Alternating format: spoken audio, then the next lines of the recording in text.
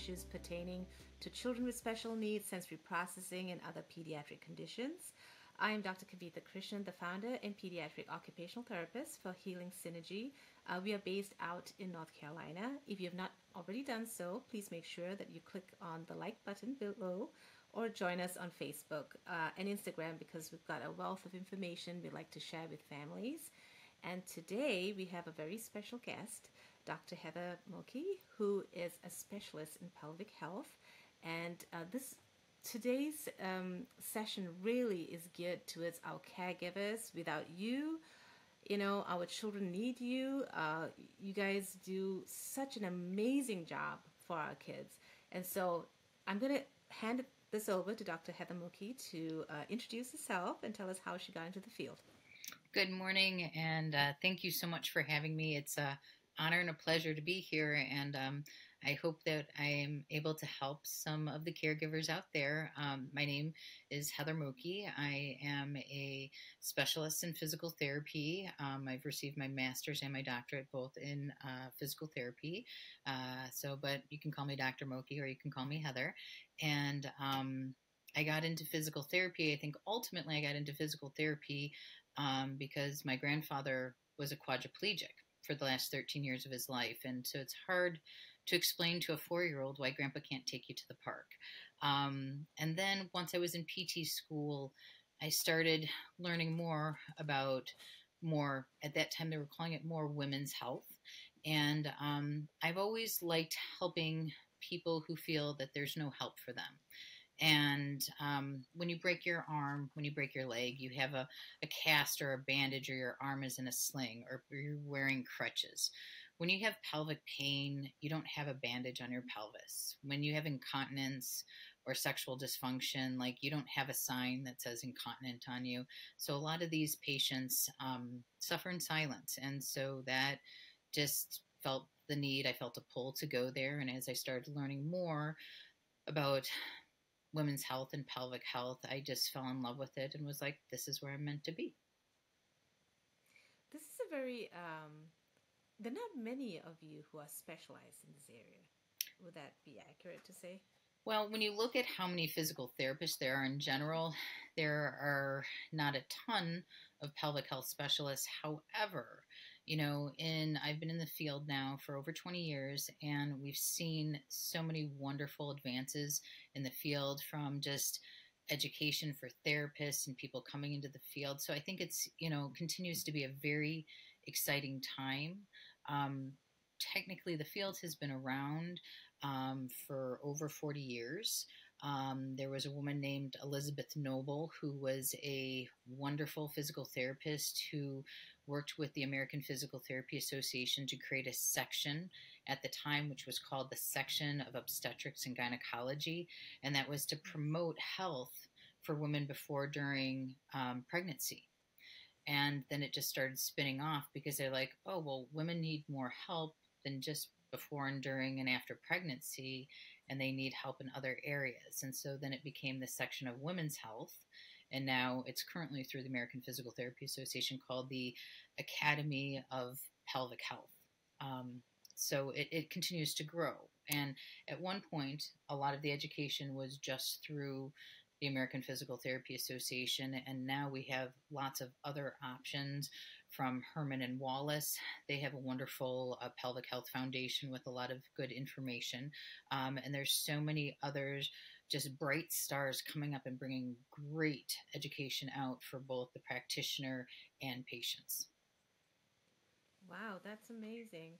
Um, can you describe, um, maybe for you know people listening in, what exactly is pelvic health? Okay. If you could define it. Yeah. Well, it's kind of hard to do so because pelvic health encompasses a lot of different diagnoses.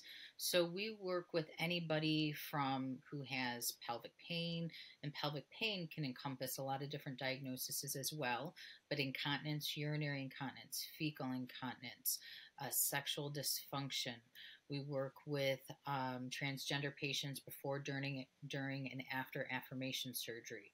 We work with cancer patients who've had gone through cancer treatment and now are having different issues. If you look at the research out there with cancer patients, you know, um, pelvic health issues or pelvic health dysfunction increase substantially after cancer treatment. So, dealing with more issues with urine, fecal, chronic constipation, sexual dysfunction. Um, I was going to say also trying to trying to think about all of them. I mean, we work a lot with uh, sacroiliac dysfunction. Um, there's also I, I'd be amiss if I didn't mention just lymphedema. You know, we do have lymphedema therapists, but some people work together with that in the pelvic health and do lymphedema as well. I personally don't. Um, and there's also pediatric pelvic health as well. So we really encompass, you know, a wide variety of patients, a wide variety of diagnoses. Um, there can be certain diagnoses like pelvic floor muscle dysfunction, and that could mean anything from urinary incontinence, urinary, which is urinary leakage. You know, mm-hmm. you could have, um, there can be pain issues, problems sitting, problems with intercourse.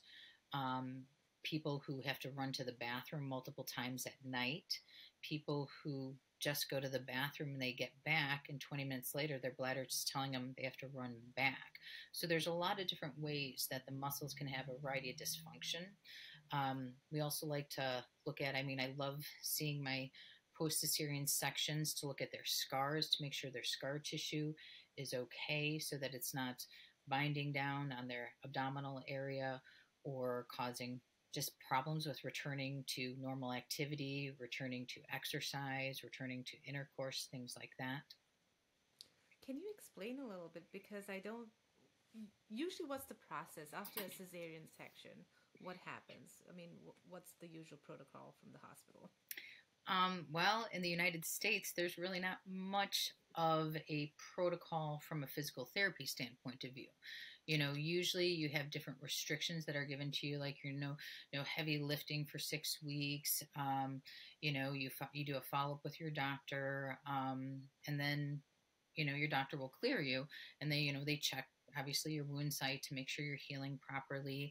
I think now the good news is what i'm seeing is that a lot more people are um, or a lot more doctors are referring patients to physical therapy postpartum, post cesarean section, um, where before commonly it was there wasn't as much. I don't know if we weren't as well known, or if it was a situation of just um, you know people didn't have as much access. Now I still have patients that sometimes will drive two or three hours to come see me because they don't have good access around where they live. Now, luckily, that's getting a lot less. Like I had a gentleman, and this was, you know, probably this was a while ago, but he called and he said, "Oh, I'm going to come," and he had pain with sitting, but he was going to drive an hour and a half to come see me to get treatment. And I, luckily, I could say like, okay, you know, we have other, you know, resources that are closer to you that you know you could go see instead of coming to see me. So I'd really recommend, especially pain with sitting, you have to drive an hour and a half, that's just going to flare you up every time. So he was able to be seen a lot closer to his house. But Heather, you just bring up something that's, um, you know, it's it's just something that we do every day. We sit down, we have to work, mm-hmm. you know, and if you have pain or discomfort, that's going to impede your productivity. I mean, your uh, ability to focus or just get work done. Oh, without a doubt. Mm-hmm. And I mean, ultimately, a lot of these diagnoses lead to quality of life. You know, why, mm. why, why, why do we do what we do? It's because the person who has anything from interstitial cystitis to overactive bladder, these are different diagnoses that go along with bladder issues that where maybe a patient's getting up five times a night to go to the bathroom. With interstitial cystitis, I've had patients get up 20 times a night to go to the bathroom. So then you got to step back and say, you know, how long does somebody normally sleep at night? And if they're getting up three or four times a night, you can think about how disruptive that is to their sleep, let alone obviously 20 times a night. And then expecting somebody to be able to actually, you know, work and be productive or drive a car safely if they've had no sleep. So it really comes into just basic quality of life, of health, and whatnot you just opened up this whole whole can of worms really like because you can see so many different sections right mm-hmm. so it seems like it's across the board right?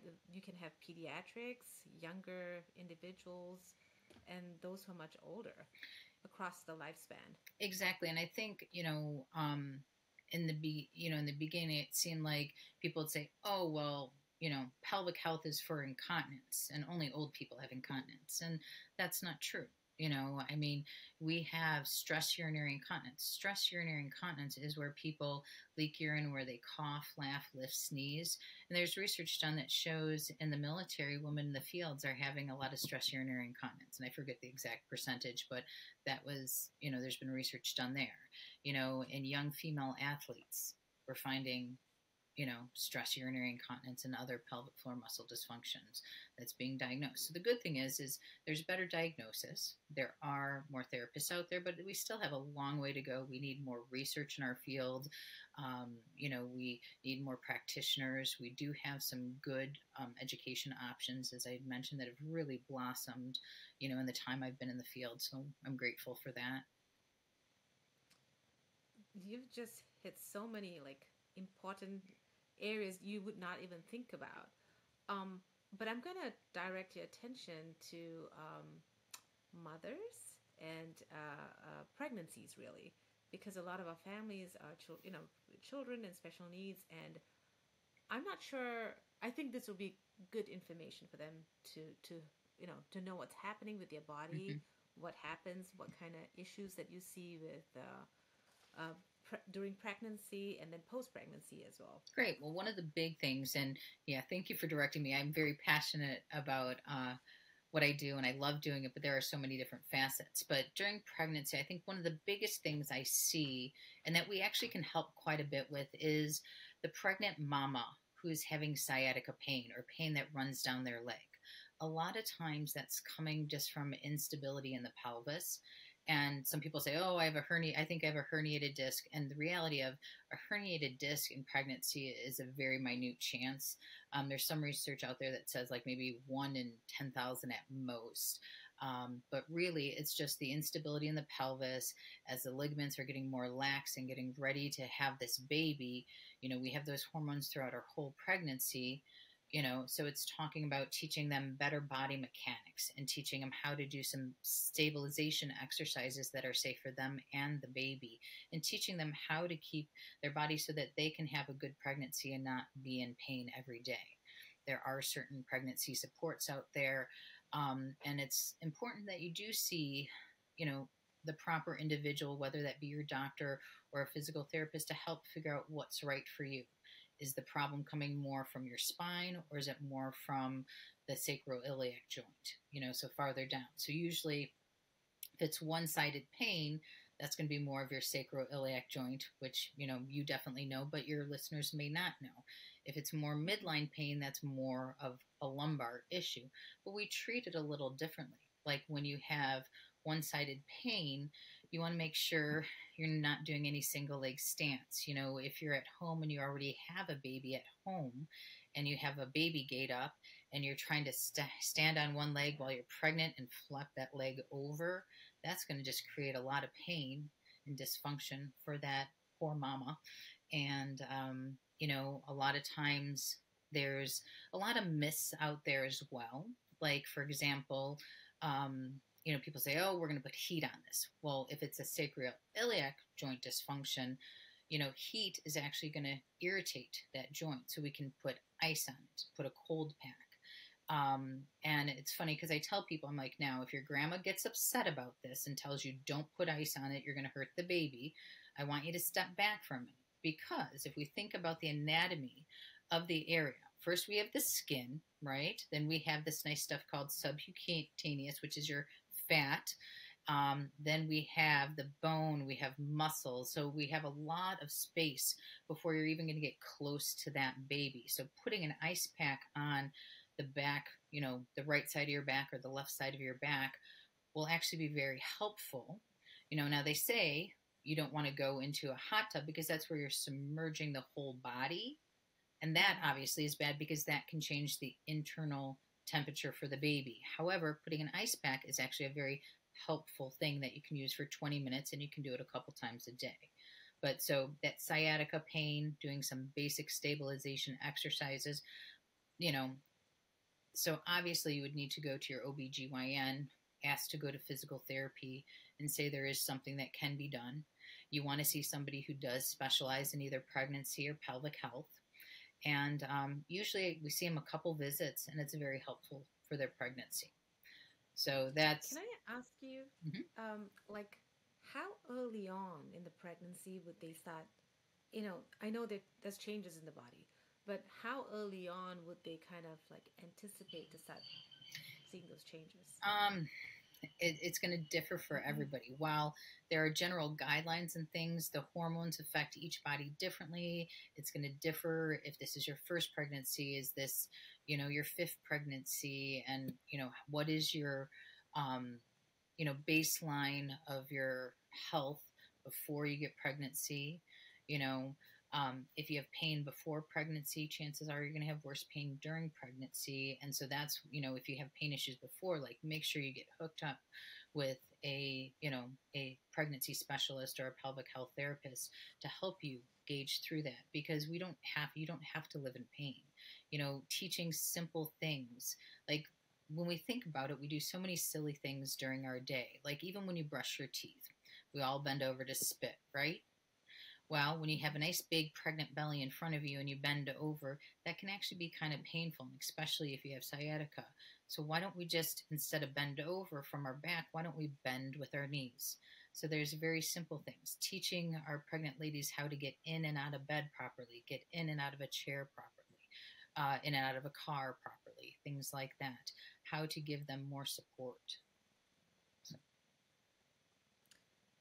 I was just thinking through what you just said, and you're right. You don't even think about it. You just automatically do what you know you've always designed. You know, your body's been designed to do.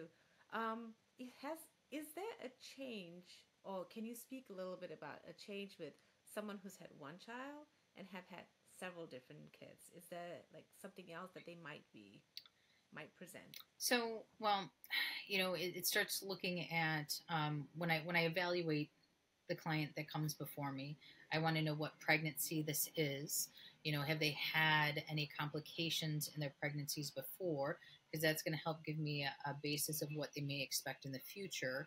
Um, now, sometimes people will have never had a problem, and all of a sudden, this is their third child. And um, now they're having problems, and they're like, But I'm a healthy person. This doesn't make sense. But then you ask them, you know, well, tell me about your other pregnancies, or tell me, you know how your kid you know how many kids you have at home and say oh well my first child is five years old and then i went and i breastfed them for two years and then i got pregnant again and i breastfed that one. I had a miscarriage in between and now i'm pregnant with this one.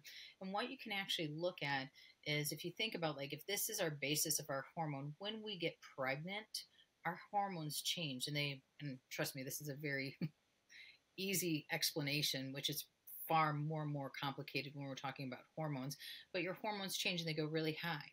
You know, when you go into delivery, they'll spike and then they'll come back down. But when you're actually breastfeeding, they'll still stay a little higher. So we'll see that mm-hmm. sometimes people, their body has may not been back to normal in anywhere from five, seven years, something like that. You know, so that people, those those women tend to have, I think, and there's, you know, they I find there's more issues in that in those scenarios and just about stability you know and just doing simple stability exercises and that's why it would be great. And you see it some places that you know after delivery you may get the opportunity to see a physical therapist you know in the hospital. It usually doesn't happen often. If we were in certain parts of europe that would be standard. So it's unfortunate that we're not following that here. It's a disservice to the moms. I mean, we're sending them home. They've just went, you know, birth in general is just a super traumatic experience. Okay. I mean, how the baby has to go out, the whole labor process is, you know, huge. And it's really, it's a traumatic experience and it affects every aspect of your body, you know. Um, and we don't do a good job of taking care of our mamas. You know, unfortunately, um, many people may not be able to afford to take a maternity leave. You know, some people may be only able to get two weeks. Some, I mean, in the United States, hopefully they're able to get there at least 12 weeks or longer.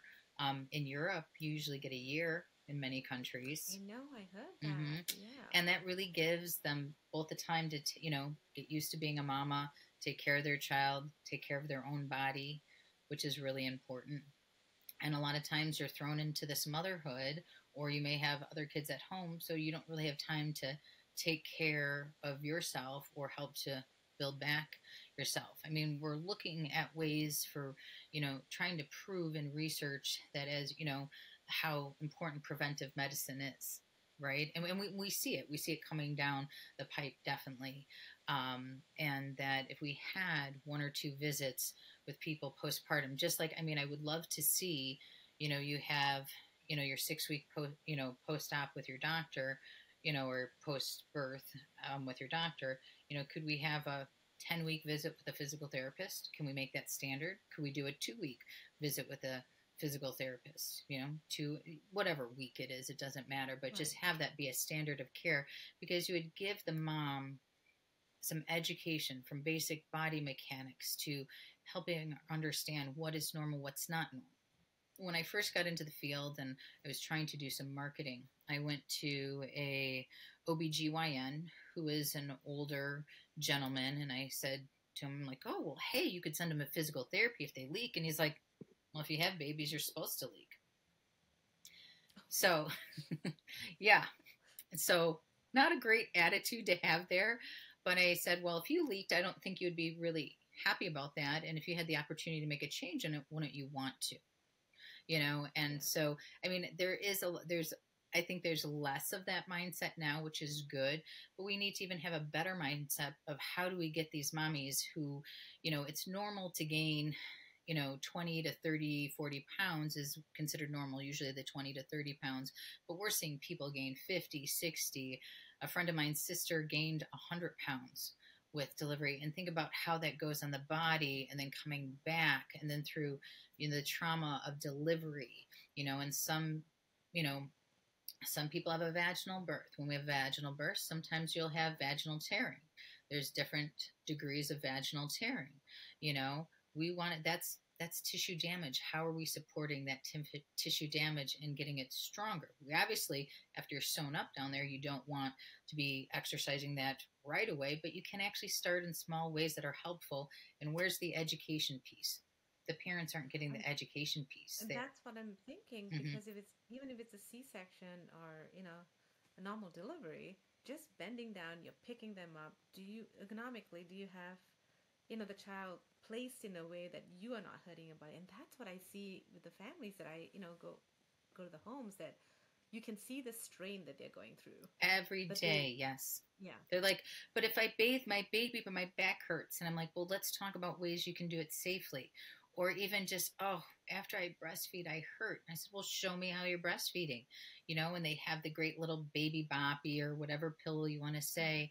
And I say, well, now wait, let's go and put one pillow there and then put your baby boppy or whatever on top of it and then put the baby there. They're like, but then my boob is hitting the baby in the face. And I'm like, that's exactly what you want to do because when you start bending over, you're putting more strain on your body. So, talking about ways to both have the mama support herself and support the baby so that she can actually be supported as she's, you know, doing it. And then I try to cue moms of how to sneak in a little exercise because when you're a new mom, it is so overwhelming. Like, you don't have time. Like, it's a good day if you brushed your teeth, it's an even better day if you were able to take a shower, right? I mean, I'm sure some people would be like, yeah, I hear that. Um, you know, so it's teaching them how to sneak in a couple exercises to help themselves, to help their body, show them how to do things easier, to conserve energy, and just to still let them know that, you know, you know, newborns are hard. Newborns are really hard. And like, if you're having a hard time, ask for help, you know, and like, I think we are missing you know, a lot of that education piece. And then depending, you know, where you're at. I'm in Chicago and um, there are more resources in Chicago than maybe some little podunk town over here. And how do we make sure that, I mean, I speak Spanish, but my I, I don't truly speak Spanish. I, I speak this much Spanish. But how do we make sure that people who speak other languages, whether it's Spanish, Russian, Chinese, you know, an African language, are getting this education as well. You know, and it's hard.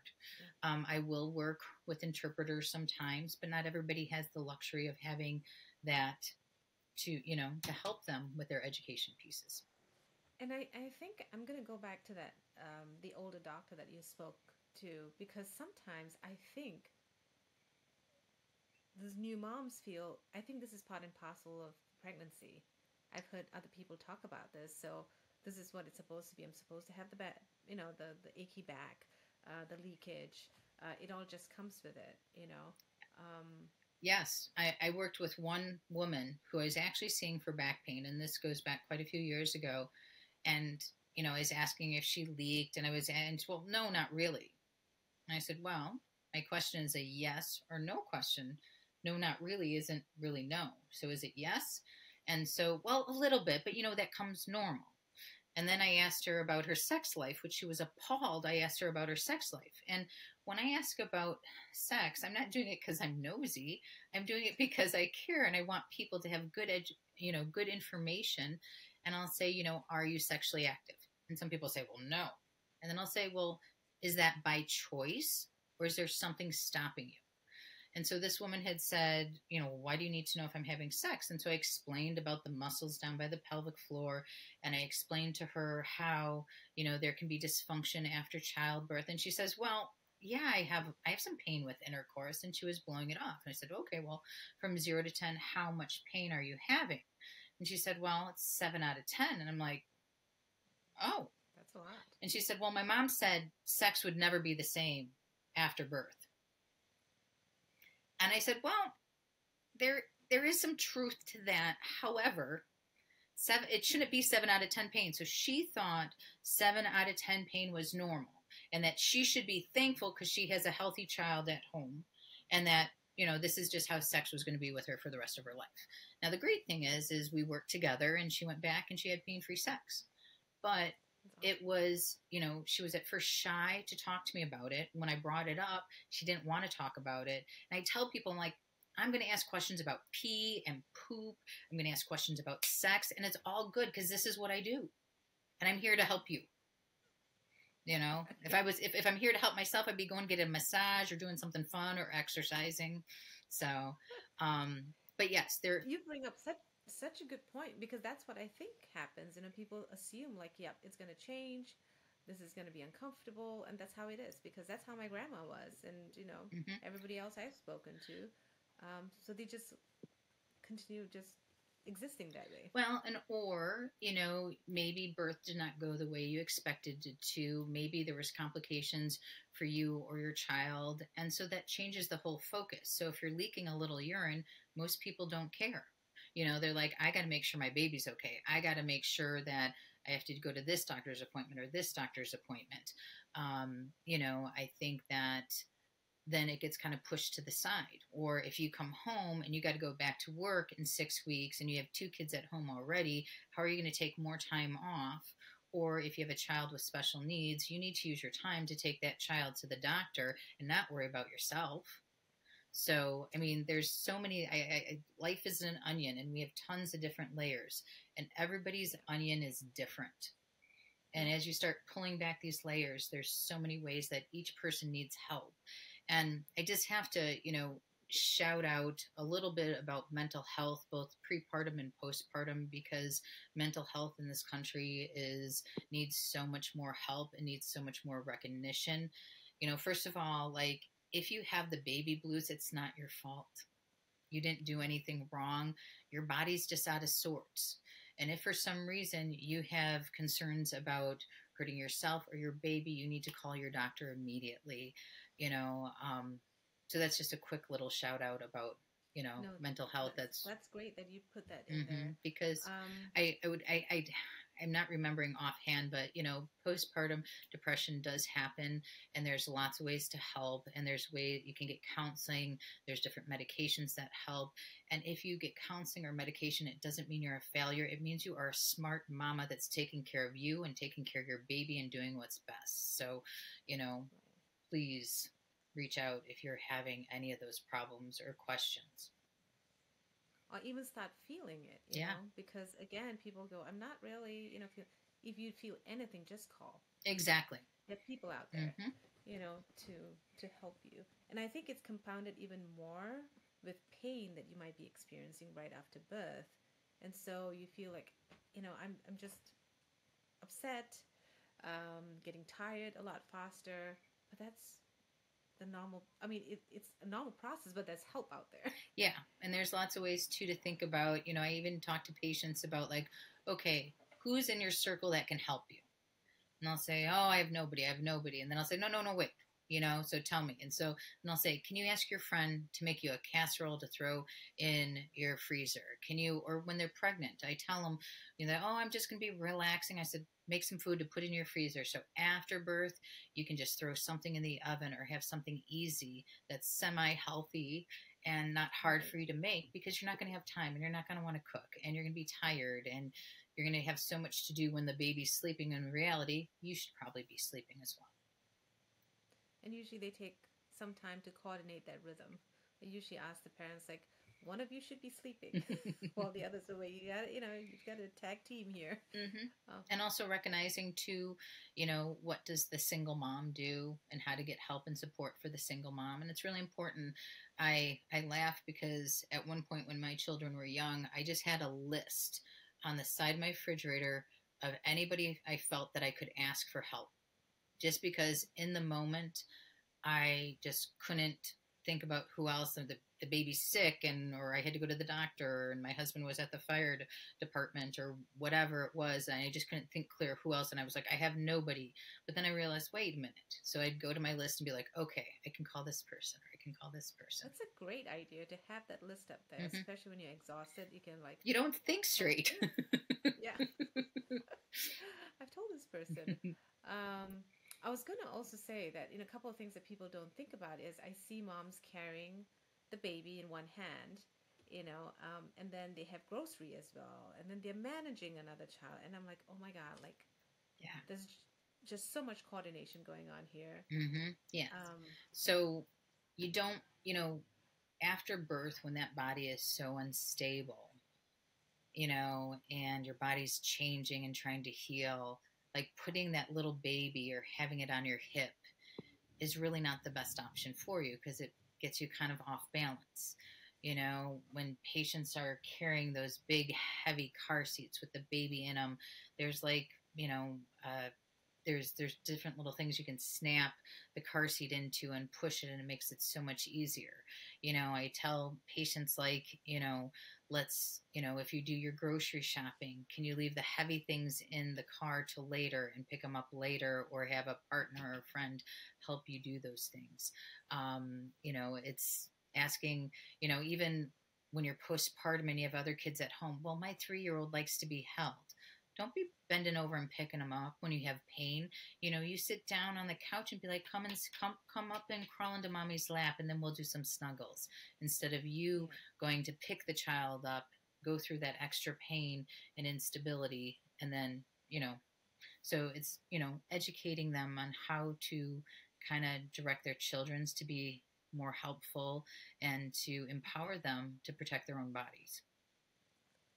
You know, um, Heather, I wanted to say to you when you know when we first got introduced, I think I was blown away to know where you can get trigger points. I never knew you could actually. I was just wondering if you could speak about that because I don't think people know about that. And so now, shame on me because I should have brought my pelvis to show you, and I do not have a pelvis in front of me right now. We're gonna get you back. Okay.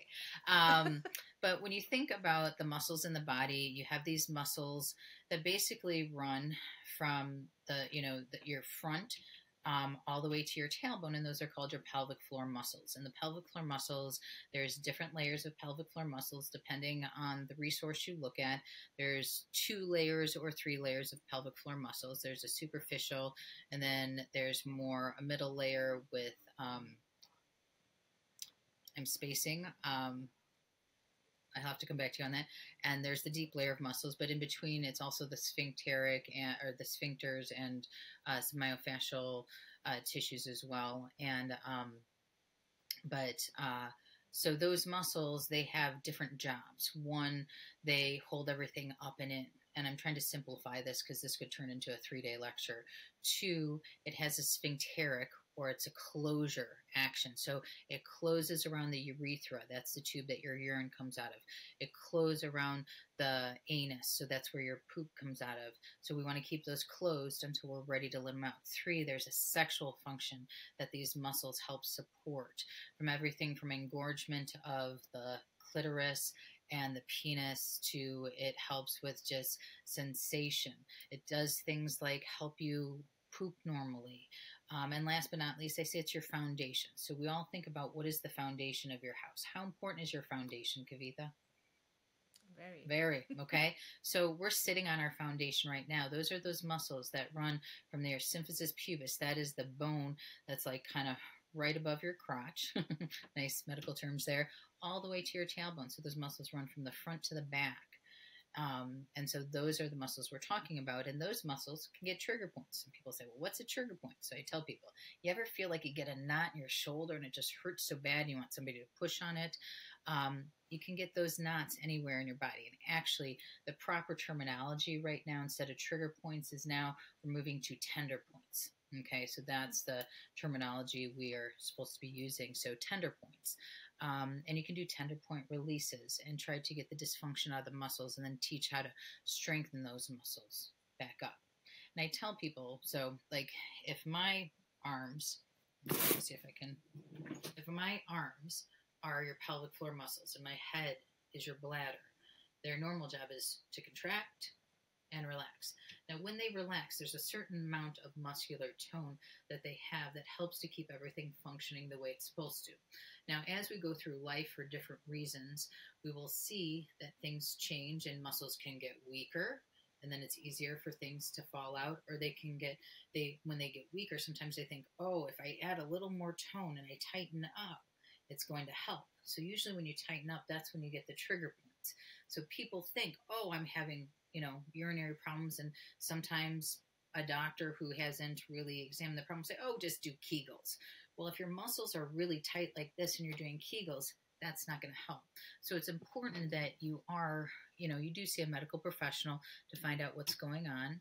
And also, even though sometimes it's very it's very normal that people have problems after birth, but sometimes women will also have issues around menopause. People will have issues after C sections, after hysterectomies, um, but you also want to just check in to make sure there's not like any other problems like a cancer going on or other problems as well. So that's why it's important to check in with your medical professional as well. There's just like a whole vast of different areas. So to see a pelvic floor therapist, um, do you need to get a referral from a doctor? So, um, usually, yes. Um, in the United States, in physical therapy, there are some states that are direct access. That means you can just walk into a physical therapist's office, but then it also depends on how you're going to pay for it. Depending on your insurance, your insurance may say that you have to have a prescription from your doctor to go to a physical therapist to receive treatment. You may get the evaluation, but to, they will only do it if you have that prescription from the doctor. So it's usually a good idea to have that prescription. Um, so it depends on your state and what access you do have, but the most common practice is you get a prescription from your doctor, and then you would make an appointment to go see a pelvic health specialist, um, and uh, then you would come to maybe me, for example. And when I meet you, I have you fill out some forms, a little bit about your past medical history, your gynecological history, different things um, like that, other surgeries you may have had. Then we bring you in. I go through, I ask a bunch of different questions. Um, and then I'll spend some time educating a little bit about the about the pelvic muscles in your body and what um, I'm going to examine on you. And depending on your symptoms, that would depend what I do, but usually I'm going to do a general screen of your body. I'm going to look at your abdomen. I'm going to move your legs around. Sometimes I'll pay a little more attention to your spine. Um, but then usually I will do a vaginal or rectal assessment where I'm checking those muscles. Now, most people who've had babies really don't care about that. I don't have to do the rectal too often by any means. Um, it's usually basically more of a vaginal assessment to see what those muscles are doing. If there's dysfunction in there, are we finding trigger points, different things like that. And then I, you know, basically make a picture of that patient to figure out how am I going to get them better. And I say, I'm going to give you a tune up. Who doesn't need a tune up or a makeover, right? Because your body's gone through so much. Um, you know, and usually a normal course of physical therapy is usually we see about six times. Um, now, depending on the diagnosis, the history, it could be more, could be less.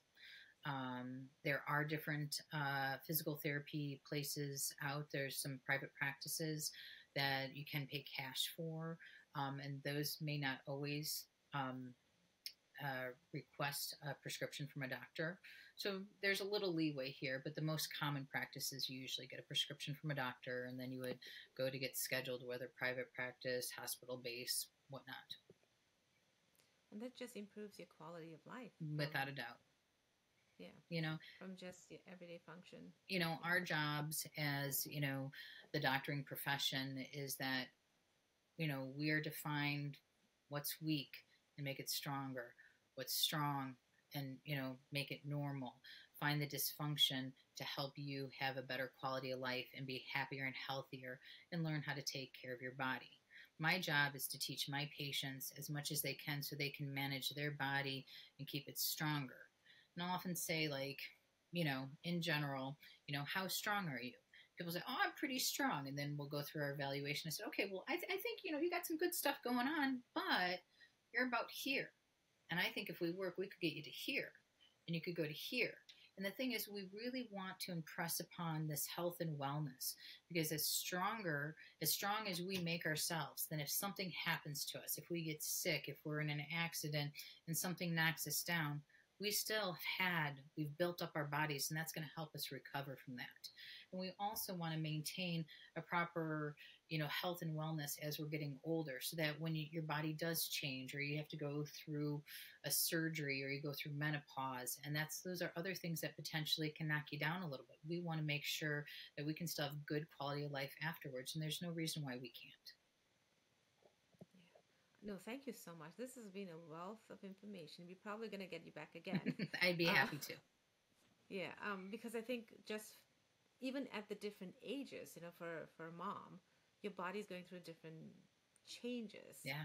You know, so if you've had your baby at 20 and then the next baby say comes at 35, that's something different. You know, what are you going to be looking out for? Um, so I I know we can keep talking, so I'm definitely going to be calling you back again. Thank you. Um, I will ask uh, you know the audience if they if they want to ask questions, I'll for- forward it to you so that you can answer it, um, uh, answer them. Um, but otherwise, thank you so much. My pleasure. Um, this has been incredible, uh, wealth of information, and we're definitely calling you back. Thank okay. you, thank you. It's been a honor and a privilege to be here, and I think you know am I the perfect person and do I know everything? No, I don't, but I do have the experience here. And if we can help give some good information out to other moms that are struggling, other parents that just need support, that's what this is about. And so it's an honor and a privilege to be part of it. Thank you. No, thank you so much. Especially like, you know, you mentioned about the moms who have to go to the hospital, uh, uh you know, a typical birth, they go to the hospital with children with special needs it's a lot more. Yeah. And sometimes, like you said, they they put their needs in the back burner. Yeah, the moms of preemies, know. the moms who have medically complex babies. I mean, there's so much here, and there's so much time we could spend together. So we will plan another time. Yes. Thank you again. Thank you so much.